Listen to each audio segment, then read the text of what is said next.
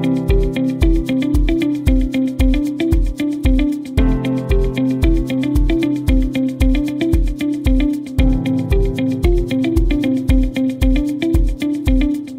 can scientists and decision makers from around the world solve complex problems? One step at a time and by working together. We have on one side governments with national agendas, priorities and challenges like a pandemic, climate change, natural disasters, as well as a litany of international agreements and sustainable development goals to meet. We have on the other side a scientific community of experts in all of these topics, working hard from the lab or the field, generating knowledge, publishing in journals, putting together incredibly robust technical assessments. The IAI STEP Fellowship Program offers countries from Latin America and the Caribbean a strategic way to bridge this gap, fill a need of creating homegrown science advisors, and establish more permanent mechanisms for public and private institutions to make evidence-informed decisions. STEP is part of a much-needed culture shift for scientists to learn a new language and work with policymakers on a day-to-day -day basis, and for policymakers to learn about the value of and then use scientific knowledge. One step at a time, institutions from across the region are making room at the table for a scientific expert, a STEP Fellow. Together with the international network that the IAI has built over decades, we can facilitate the uptake of scientific knowledge to support policies that improve human well-being. Let's hear now from some of our key partners and from some of the STEP Fellows themselves. As an intergovernmental organization guided by a strong principle of international cooperation, the IAI is a natural partner for the American Association for the Advancement of Science. We are pleased to have many of our science and technology policy fellows participating in IAI's professional development program. Skills gained here will bolster their ability to leverage science and policy making both internationally as well as at home in the U.S. the opportunity to work with the IAI and have some of our fellows in the Science Diplomacy Project, and the fact that we are able to collaborate and share across other organizations is fantastic. As a leading pharma organization in Argentina, in CREA, we are pleased to join efforts with the IAI, building capacities to support the growing role of science in decision making and policy making. This relation with the IAI is very important to the ministry due to its outstanding history and excellence in addressing global and regional problems, particularly in the area of climate change in Latin America. We believe this collaboration will help us advance more quickly in training new cohorts and increasing the number of young scientists interested in public policy issues, particularly issues like climate change. The Science Diplomacy Program introduces STEP Fellows to the field of science diplomacy in the context of Latin America and the Caribbean. Fellows learn to understand the intersection of science, technology, and innovation with foreign policy, international affairs, geopolitics, and global governance for sustainable development and addressing global challenges.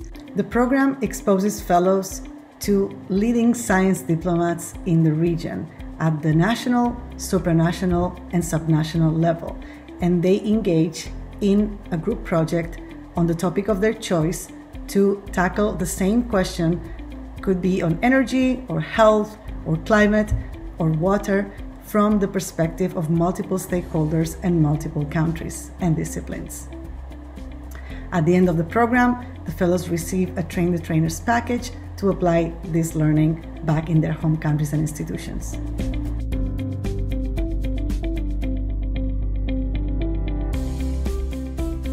The polar regions are amongst the most rapidly changing environments on the planet today, and those changes are not restricted to the poles. Melting sea ice has the potential to recontour not just coastlines and weather patterns, but global trade routes. The suggestion of a polar Silk Road that would connect East Asia to Western Europe via the Arctic Ocean has economic, environmental, and social implications for not only Arctic nations like Canada, my home country, but for Latin American countries like Panama, Mexico, Venezuela, and Colombia. Member nations of the IAI are well positioned to adapt to such changes. Through science diplomacy as a cooperative framework, member nations can learn from each other, build capacity for scientific knowledge translation, and advance national and international interests on global environmental change issues, like ocean plastics pollution and the impacts of sea level rise on island and coastal communities.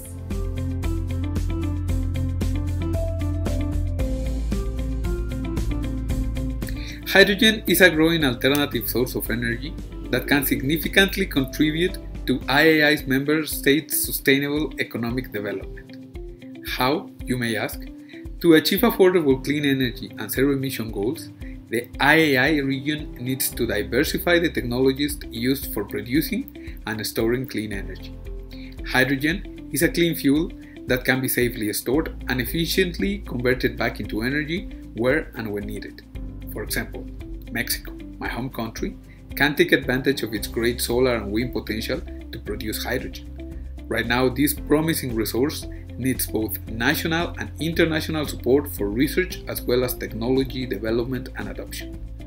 Government representatives can help the IAI region lead the future global hydrogen economy and establish this technology as a driver for regional growth in its recovery from a COVID impacted economy. Thank you.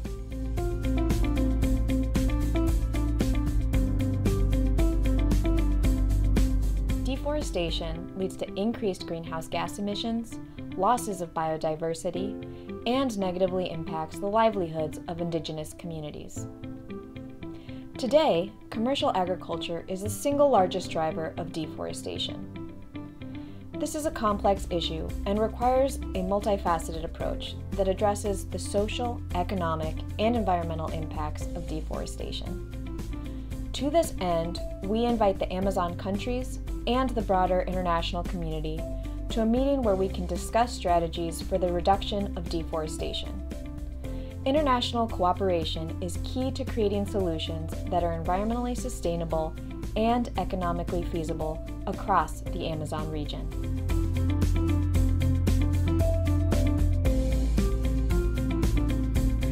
Vector-borne diseases such as Zika, chikungunya, malaria, Lyme disease and others cause chronic infections and kill more than 700,000 people around the world every year. These diseases are prevalent across the Americas and climate change is causing their behaviors and spread to change in ways that increase risks across the board and especially render North America much more vulnerable than before we need to learn from the lessons of the COVID-19 pandemic and tackle this issue proactively. To tackle a multifaceted issue like this, we need cross-disciplinary research collaborations, health and climate data sharing infrastructure, and most of all, international cooperation. To initiate this multinational dialogue, we are convening a workshop this fall which will bring together scientific and diplomatic stakeholders, and we invite you to join us.